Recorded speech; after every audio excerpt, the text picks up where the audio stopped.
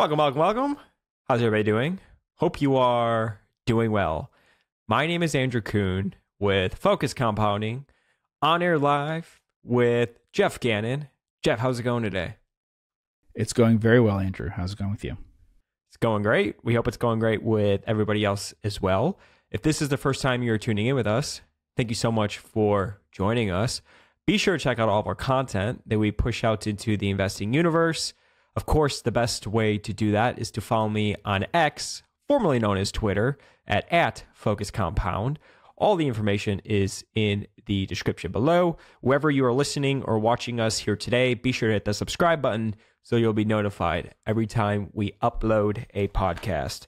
So, in today's podcast, we are going to continue on with our Dear Chairman uh, series, and we're going to start at chapter two, uh, which is about Robert Young. We are in the year 1954.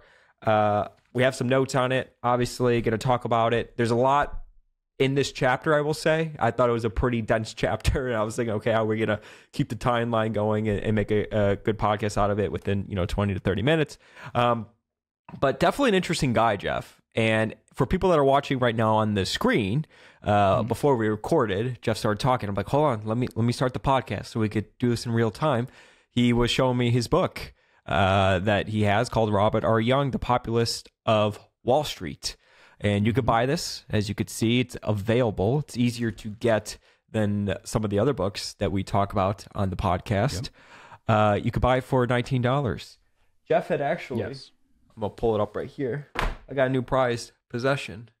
Because this book, Les Schwab, Pride in Performance, Keep It Going, um, it's a book that seemed impossible to find. uh, mm-hmm. But Geoff had a, I don't know, did you buy this or did you uh, find I a copy or what? I had a copy um, from a while ago. Yeah. yeah. So you know I was thinking, right? So I love buying used books. I have mm-hmm. said the reason I like buying used books is because it's fun to see what other people underline if they put any notes in the margins or in the uh, you know covers or whatever. So I open up on this first page. I'm not gonna name any names. Mm-hmm. Uh, we'll say his name is it's addressed to Jeff. We'll say Jeff. We'll say okay. it's Jeff with a J though, not with a G. Okay. Welcome to the blank team. We look forward to working with you. This book shares a little of our basic philosophy and work ethic. Apply these ideas to us plus I won't say, mm-hmm. we'll say cars. We'll say whatever industry. We'll say apply this to us plus cars. I think you'll fit in well here. Good luck. Best regards from we'll say Dennis. Uh, yeah. Pretty cool, right? Like honestly, I, not I should... unusual with used books. No, with used business all. books. So like what you're yeah. describing there, they give these out to salespeople when they join whatever team, because the Les Schwab book is a lot about selling. And so they'll give it to them. Whether that person read it or not, who knows? I don't remember there being much underlining in the actual book or anything. There's not much there evidence that someone read the book, but they were yeah. given it. Yeah. Some of the entertainment ones I have are signed by some people. Um, that are odd ones. So like one is the I have a book from someone uh, who was the president of ABC, and it's signed to an actress who was on a, a sitcom on ABC. So really, wow, look at yeah. that. So uh, probably. I mean, they uh-huh. didn't sell it as saying that it was a collectible or anything, so I don't know why they would fake that, but yeah. they could have. Um, yeah. But yeah, that's the most likely thing because a lot of these things didn't sell a ton and uh, they're used for purposes like that. Yeah. So yeah. Th- those business books you see a lot for being given out by companies to people. Yeah. I love it. I mean, I love it though. I think it's, I mean, the best thing you can do, honestly, to help people out is give them uh, a book that you think fits within everything that you do, right? Give somebody the Outsiders book, give them Dear Chairman, give them whatever. Mm-hmm. And uh, yeah, it's good to do that. So I don't know. I was super excited to uh, see that in the cover and I can't wait to read the book. So Robert Young, teach a, uh, tell us a little bit about Robert Young. You have uh, the book that the a lot of yes. this chapter was sourced from. Um, right. But yeah, so, we could talk very high level about who he was, why he's important, and why we're going to talk about right. him on this uh, podcast. So we should start with some of that stuff, things that might not be in the chapter as much and touched on the chapter, but so we get them out of the way. So, um, dear Chairman, by Jeff Gramm. This is chapter two, and that's what we're going to be doing. And that's what most people would probably like to read. You really do not need to read The Populist of Wall Street. It is a much longer book. It is all about the proxy fights that he had, but he had several proxy fights, whereas this chapter focuses really on one. And um, it doesn't really add that much to it other than that. So if you're worried about the complexity of it and getting that into a 30 minute podcast, there's a lot more of the legal complexity and stuff in the book. The other issue with the book is, as you can see, the um, Populist of Wall Street book, unlike Jeff Gramm's book, was published um, in the 60s. And so it knew about the eventual merger between the railroad we'll be talking about here, the New York Central, um, into a company that would become um, uh, would become Penn Central. Um, so uh, which would go bankrupt a few years later. So that part of the story is not told there. So like that the book that um, the Populist of Wall Street ends with is like how the stock was doing and everything after that merger, and you'd be up a little bit and whatever. But it doesn't know that in a few years that's going to be one of the biggest bankruptcies in U.S. history, right? So um, the other thing we should mention here is that the person we're talking about, Robert Young, which this addresses at the end of the chapter, uh, he commits suicide shortly after the events. I was not. book. Yeah. I was like, wow. Yeah, I was Yeah. uh, kind of sad to. Yeah, I mean, I was just like, damn, I was not expecting that. Just from personality, I guess, just from reading, I was just very shocked to see that. Yeah. Yeah, which both in Jeff Gramm's book and in um, anything else that I've read, that wasn't a contemporary account, isn't believed to be related to this stuff.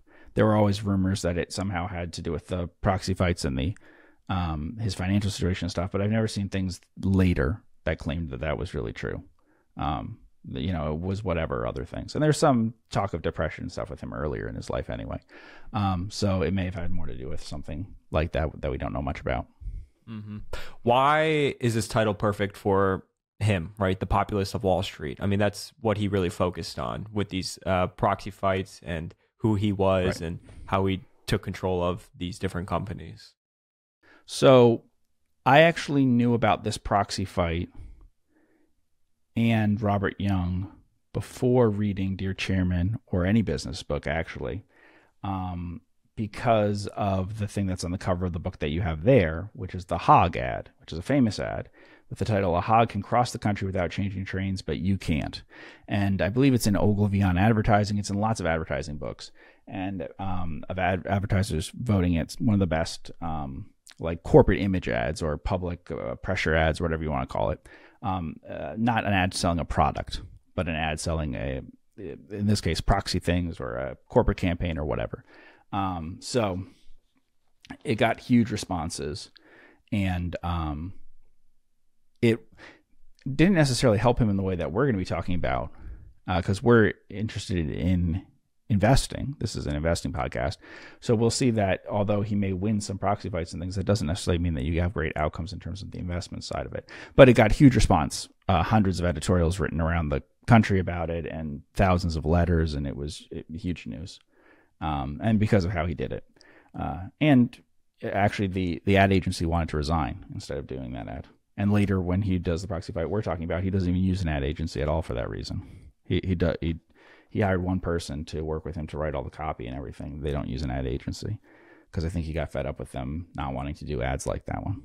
Yeah, and while the person he was going up against had a team of you know people, uh, ad agencies and lawyers, and you know we're using company funds to do this, and he was using all of his own capital to do this, and it was just him and one other guy, as you said. Yeah, uh, it was kind of like a David versus Goliath is a is a good way to think about it. Uh, do you want to explain what Chesapeake and Ohio Railway uh, was, and and you know how the chapter starts So- off with that? Well, okay, so the Chesapeake and Ohio Railway, I think this part of the story is not important to us.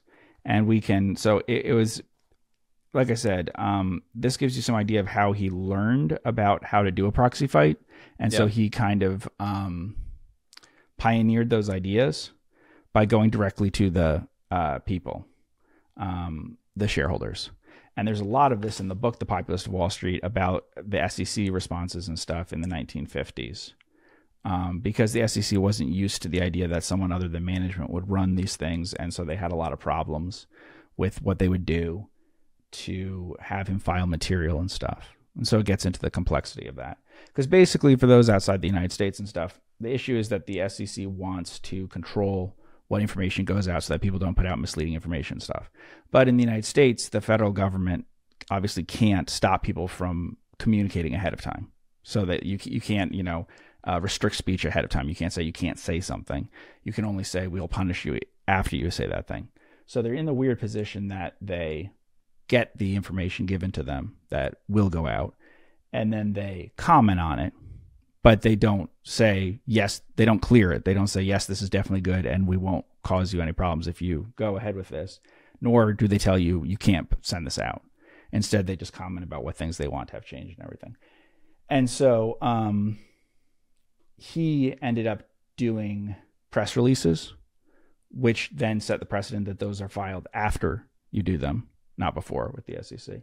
And then he also did lots of off the cuff stuff.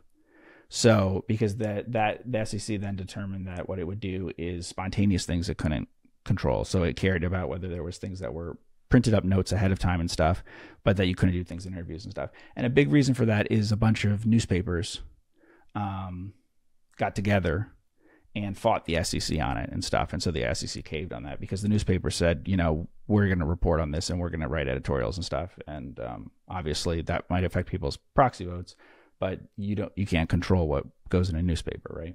So it, it was a media thing like you would have basically, as they describe in the chapter. It, he ran it like a political campaign. You know that he ran it like he was running a political campaign, like he was um, looking for votes that way, and that was novel at the time. And although he painted as David versus Goliath, in the one we're going to talk about, the New York Central, I believe he spent more money than they did. They both spent a ton. In today's dollars, I don't know, it'd be seven, eight million, something in that neighborhood, probably adjusted for inflation. But they both spent a lot, and um, he spent at least as much as they did, I would bet. Got a lot more free publicity than they did, though, and obviously got more votes. I mean, he was good at, I don't want to say playing the game, but yeah, running it as if he, it was a political campaign, getting attention, right? Yeah.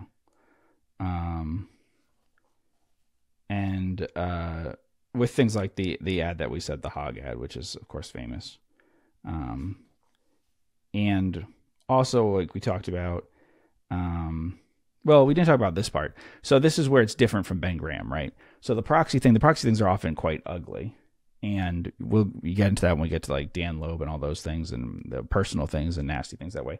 In part, maybe to provoke the person to respond and everything. Um, so this is not as nice as the Ben Graham approaching um, the Rockefellers uh, privately. This is much more um, the two having kind of dueling press releases and stuff like that. Um, so some of it was obviously intended to get under the skin of the people on the other side and get them to make statements and stuff that would have them not look as good. Like for instance, one of the things is that they were did an interview with um, media thing where both of them were asked the same questions and they both gave responses and then it was printed next to each other and stuff like that. They did not come off looking good. The the uh, the president of the company. Um, so drawing them out into those kinds of conversations is probably part of what helped. Um, mm-hmm. So, do you want to talk about New York Central? Do you want to give a background on on that company from what you know and how well, he gets involved not, with it? Sure. So it's not very important to the story, to be honest. Um, as it turns out, the New York Central is basically insolvent at the time that he's doing this. He doesn't know that. Um, and like I said, it would be merged in with another railroad about 10 years later or something after he wins this proxy fight. Uh, 12 years later, I think. And uh, then it would go bankrupt. But it was in terrible shape, as a lot of the railroads were already. Some of that was hidden from the public. Um, and so that, that also may have been part of why the CEO, um, William White, uh, did not do such a great job in the proxy fight. By the end, he sounded um, quite depressed, and Defeated, he actually sounded a lot he, deflated. Yeah, he sounded a, he sounded a lot like um, who am I thinking of at um, FTX, the woman who was running Alameda. Oh, um, yeah. So anyway, so yeah so she gave a speech to the employees there where she basically said how relieved she was to finally have this this fraud off of her shoulders and stuff. And um, this wasn't a fraud, but in the last days of the proxy campaign, William White sounds that way. in some of the things that he, he says, both in in the Jeff Gramm book, but also some things in the that are quoted in the Populist of Wall Street, where he says some things that almost sound like he wants to lose in the last days, like that he'd be relieved if they did lose, because he's standing up there with some other people, and there and he doesn't say like in the unlikely event that we would lose or something, but he says, well, if we lose on whatever day, and and um, that's probably because he knew that it was that bad. Um, you know, and he says he just wishes that, um, that when Robert Young gets up there, you know, that he'll see what the situation is and understand the difficulty of it and all of that. Um, so, but they didn't say that, and they also they did fight on the idea that you couldn't pay out high dividends and stuff, and they may have known better on that. So, so as an investment, did not work out that great. Um, the proxy fight itself drove up the stock price, and then, like I said, by the time of the merger, twelve years later, the stock had gone up a few times more by then, but it would be bankrupt the entity it was merged into within 14, 15 years, something like that. Mm-hmm. Yeah, this story became um, almost like uh, sensationalized, I guess you could say, right? Like how he said, Mhm. like you're going up against like the goddamn bankers was his uh, the way that he worded it, and he really positioned himself that he was, uh, as it says in the book, courting Aunt Jane, right? Like doing things for them to go up against these goddamn bankers. Uh, if you look at like Yeah. the board of New York Central, I mean, it was it was stacked with, I mean, business luminaries is I think how Jeff Gramm Yeah. phrased it. Uh, you had people that you had like a Vanderbilt on there. You had J.P. Morgan on there. Um, you had somebody from uh, uh, Mellon National Bank and First National Bank. I mean, you just had all of these very successful uh, people on this board, and then you had Robert Young, who was going up against them and doing this on behalf of Aunt Jane, right? And one thing that I thought was pretty interesting later on when he puts forward his slate, he actually added um, people to the board, which during that time frame would have been considered unprecedented, right? He added um, a woman, and during that time frame, Yes. it was probably more unprecedented. And he also added somebody that was a retiree from New York Central and Worker. was a, a- Yes. yeah a worker, Exactly. and um, you know was on like the honor roll at the company. Um, I don't know what that Mhm. is, but I imagine someone in very high regard. Uh, you know what honor roll means, and uh, you know his weight would carry a lot for the workers and and say a lot to shareholders as well. Quite frankly, right? That he was doing this for you know the common folk as opposed to the the suits uh, in a more modern Mhm. uh, way to put it. Uh, so I thought that was pretty interesting, and his approach to doing that was just. I almost feel like he was tormenting uh, New York Central and and uh, what was his name? Um something White. What was his first name? William White? William White. Yeah, William White. Yeah, I, I think this goes back to one of the ones who I said we don't really need to talk about, but one of the early proxy fight things. He was involved with a railroad, and he had a meeting with a um, a major partner, a, a major player at um, J.P. Morgan, um, and he they had like taken the securities public and so they like placed securities for the company and stuff, but they didn't own um, stock in the company really and he said, you know, so what are your plans and stuff, and we'd like to discuss those with you. And so he said, okay, I'll, you know, I'll discuss them with you. And he realized that what this guy was doing is he was saying, oh, I want to help you plan out the future because at all the Morgan railroads, you know, we we work with them to plan out their strategy and stuff over time. Um, so the he got really upset, and I think that's what caused his whole career that way, is realizing that someone who owned no stock in the company, who basically was just a Wall Street firm that had um, sold securities and stuff was thinking that it could have a hand in each of these different railroads that it was associated with um, financing uh, without having an ongoing ownership stake in it and stuff. Um, so I think that really bothered him. And after that, that was his problem with the bankers. And yeah, um, that meeting, I think it was a turning point of his life.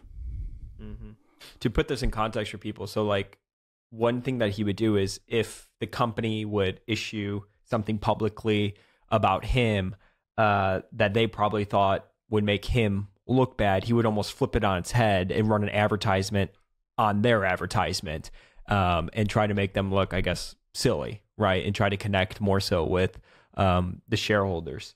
Uh, but yeah, so he ran on uh, or he campaigned on three themes, which Jeff hits on um, the need for an ownership board. He had said that the New York Central's uh, banker dominated board was, you know, obviously long overdue. They had to get people that actually own stock on the board, uh, who own Yeah. stock to get on the board and control the board.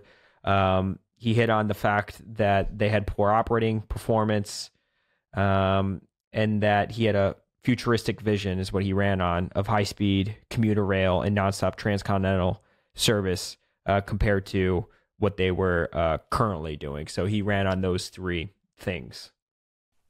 Right. And they would never do that in a successful way, the passenger service or anything. But the public liked it, and that was what, you know, what we talked about the hog ad and everything. And some of that was pre tested. What they did is they went out and they um, tested to see what things would resonate most with voters, um, which is a normal thing in political stuff to do, um, but is not so normal for um, uh, proxy things. In fact, I don't think it had ever been done before.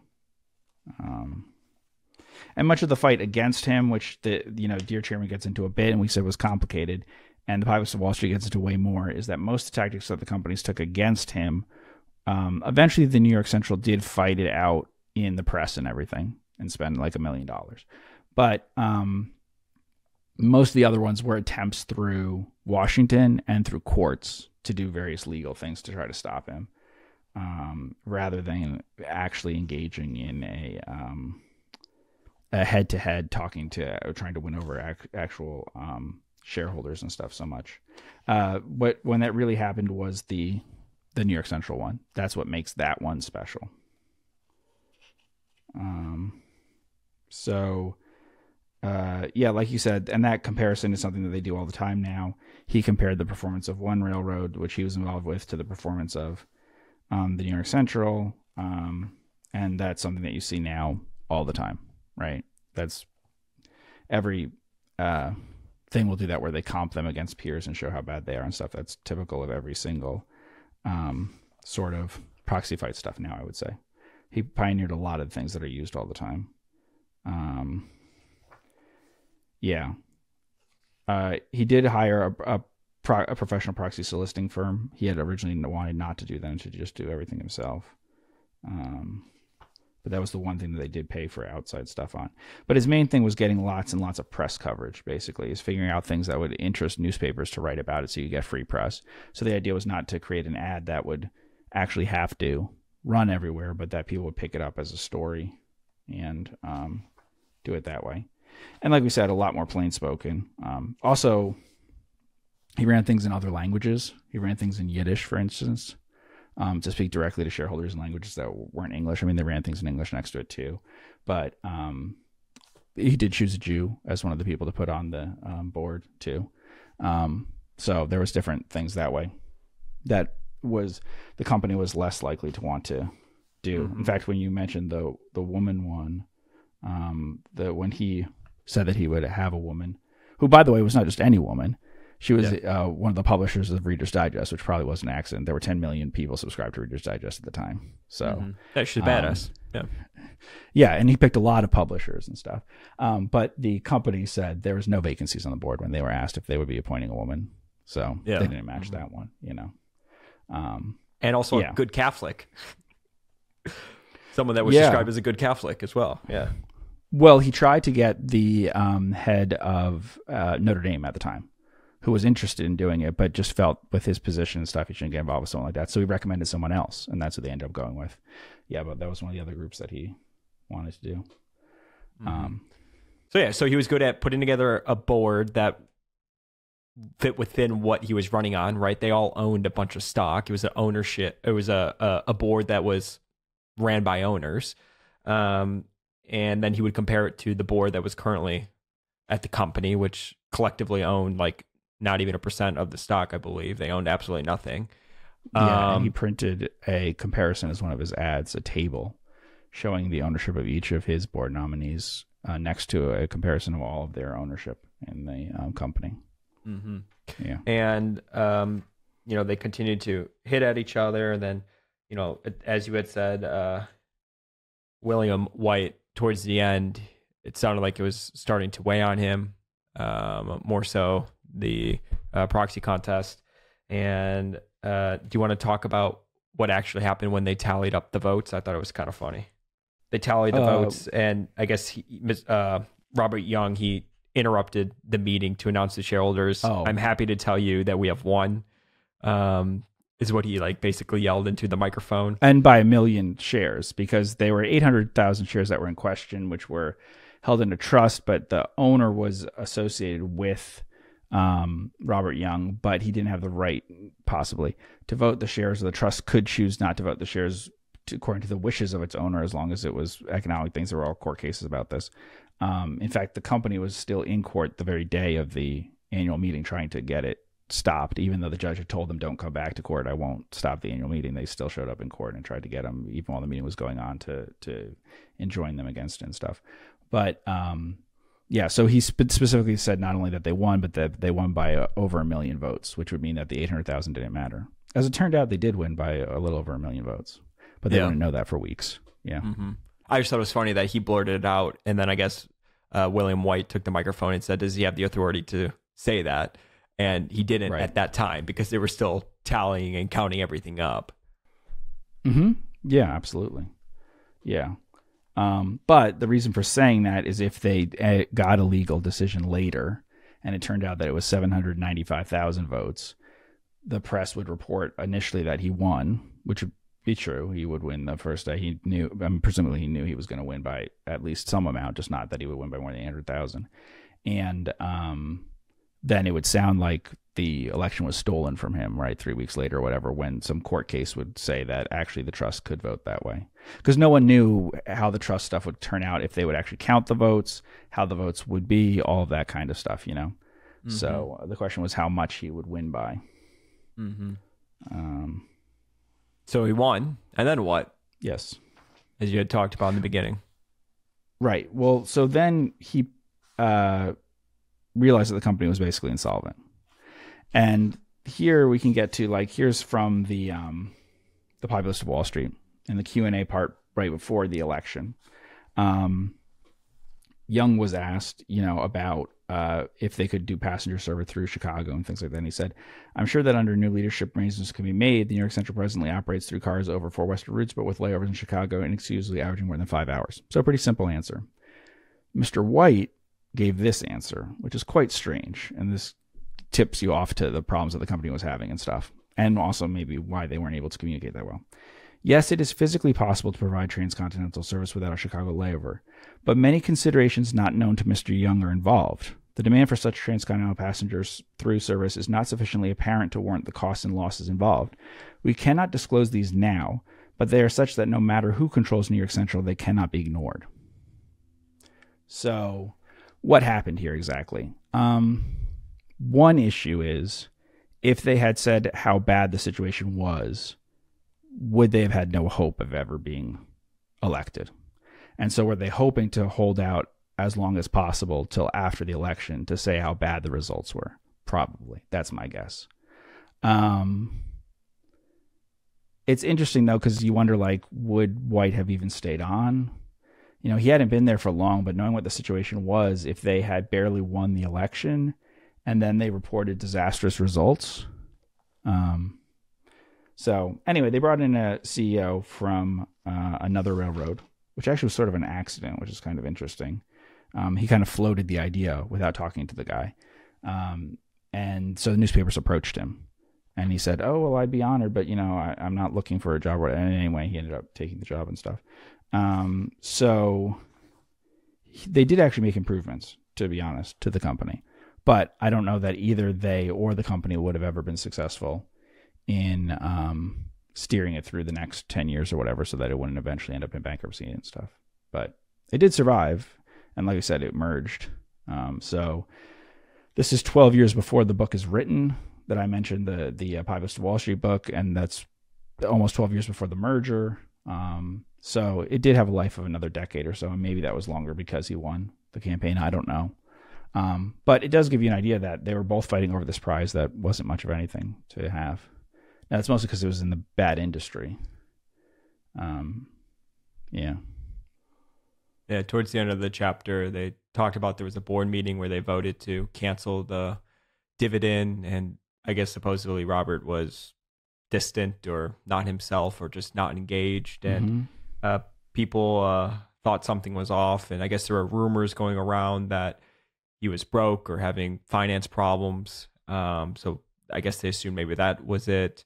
And um, he says later that week he killed himself with a shotgun in his Palm Beach mansion. Word spread that Young died penniless, bankrupted by his holdings in Allegheny and the New York Central. In fact, Robert Young left behind a vast fortune, including cash, securities, artwork, and property. He had succumbed to the depression he struggled with for most of his life. So, sad outcome. Like I said, I definitely was not expecting that just from reading the the book or the chapter as it was as I was turning the pages. Yeah. So it turned out not to be much of a prize for either of them winning it. And um, as we said, um, yeah. I mean, he did commit suicide, but uh, I don't think we have any evidence on which to base that it has anything to do with this. Um, It may or may not, but and I even think that those recollections of those rumors and stuff are mostly sourced from after they knew that he had committed suicide. So I'm not sure. There were market rumors as the stock Mhm. was going down in price and stuff, but I don't think even most of those things are reliable. Mm-hmm. Um, yeah. Any takeaways from Robert Young? I mean, from me, some big takeaways were just how good at campaigning he was, right? Creating this movement almost is what it kind of reminded me of. Uh, he was good at creating the story uh, to the Aunt Janes, as they described in the book, or as he had said, and really going after the bankers, right? And, um, you know, just really pushing forward uh, shareholder democracy and boards that are actually ran by owners as opposed to people that aren't. And he even had said at one point in the book that like of the four board members that were currently on the New York Central board, they, you know, were part of banks, whatever, and they had, I don't know, 50 other companies that they were part of. And he had said, like, do you think they're mm-hmm. actually focused on your company? I mean, of course they're not, right? How could they be? And you see that a lot today. A lot of uh, professional board sitters that also sit on four or five different boards. It's a pretty cushy Mhm. job, right? You get paid 50 or 100 grand to sit on like these larger boards, even, and you sit on a couple. I mean, that's pretty sweet, right? You show up for four board meetings a year, shake some hands, kiss some babies, uh, agree with the majority, and cash your checks. Um, so it was nice to see that he was standing up for shareholders, especially because he had a huge stake in the company. I mean, at one point, I mean, I did inflation adjust it, and um, his slate collectively, how much they own. I mean, it was in today's dollars, it would be like consider a substantial stake. Um, looks like it was 578 million worth. I mean, huge, absolutely huge. It was So a really they real skin in the game. Yeah. Yeah, yeah. Um, so on the first page of the Populist of Wall Street, I think they sum up pretty well his approach and how it was different from other people. Says um, the, the book is written by someone who uh, basically who um, worked uh, with um, Young. He was basically like his lawyer in some of these proxy fight things, kind of. Um, so anyway, it says Young confounded them by enlarging the field of conflict to include extra legal arenas. Relying on the element of surprise, he sought constantly to keep the initiative. Armed with the legal advice that truth is an absolute defense against libel, he deliberately created tumult by pe- peppering his charges with sensational detail. In all these confrontations, uh, he enlisted public opinion as an ally. David against Goliath became the theme of his career. Uh, and controversy, the essence of his public personality. And he got a lot of enemies as a result of that, obviously. So that was definitely a problem. Um, Yeah. That happens from that. But the things that we said are true that it was a public campaign. And like we said, he sought to constantly to keep the initiative. And um, he had as much fighting with his own lawyers and ad agencies and stuff about what things to do as anyone else, to be honest, um, because of concerns about that. Um, and this became a famous, famous uh, case. Uh, you know, th- there's some pictures and stuff in the book of the actual meeting, um, and you can see how many people there are. There are hundreds of reporters there, um, in addition to all the shareholders and stuff that you'd expect. Um, so, uh, it, you know, it became a media sensation that way. Yeah. And so most of the things that we'll read about later in um, Jeff Gramm's Dear Chairman, the later chapters which will involve proxy stuff, most all of them will involve proxy stuff. This is like basics of how people campaign now.